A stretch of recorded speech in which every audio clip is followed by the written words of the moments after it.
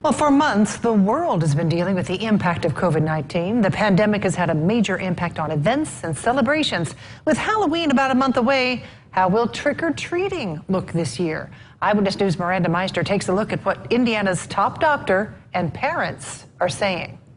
The question is being asked Will there be trick or treating in October? Indiana Health Commissioner Kristina Box still does not have the answer. I think that it's a little bit early to call where we should be on, you know, October, uh, late October at this point in time. But if a county's or a community's numbers are low, I think that Halloween can occur safely. Parents I spoke with say they aren't worried about going door to door this year. I think that we're just going to be careful and, and I'm going to let them do it. Rick Stevens is a father of two. He says although they plan to celebrate this year, things will look a little different. Kids are not going to touch the candy. They're going to have the people drop it into their into the bags, and when they get home, my wife and I are going to put on gloves, put on hand sanitizer, whatever we're going to do. We're going to clean off everything before the kids have access to it. The candy company Hershey launched a website to show people how to trick or treat safely in every county of the United States. The color coded map displays the COVID 19 risk level in each area. You can find it on our website, tristatehomepage.com. For example, Posey and Warrick counties are labeled red,